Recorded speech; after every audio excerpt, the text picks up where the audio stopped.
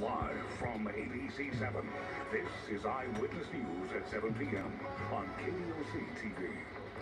Heartbreak and outrage in Sacramento as our nation's most recent mass shooting rocks our state capitol. What we're learning about those killed and the hunt for the gunman. Plus, an innocent couple killed in a violent crash in Rialto. The new details tonight on the lives cut short.